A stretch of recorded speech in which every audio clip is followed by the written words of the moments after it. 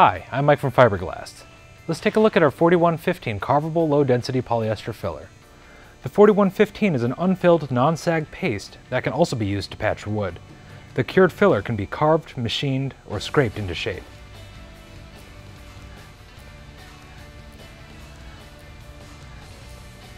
Mix 100 parts paste with 2 parts BPO on a clean, disposable mixing board.